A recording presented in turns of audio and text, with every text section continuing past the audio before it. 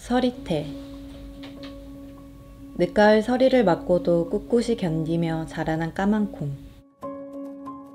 그만큼 더 알찬 힘이 이 새까만 콩 안에 들어있지 않을까?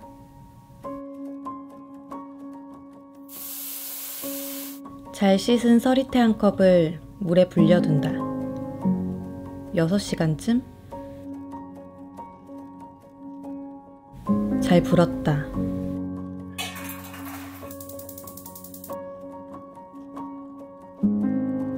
구수한 이 냄새.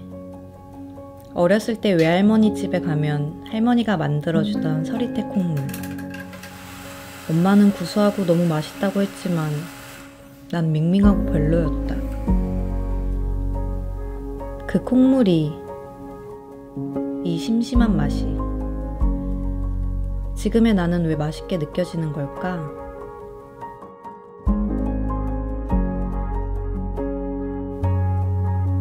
살면서 한 번쯤 서리를 맞은 뒤에야 이 맛을 진짜로 느낄 수 있게 되는 걸까? 두부가 되는 진짜 두유, 서리태 콩물 두유.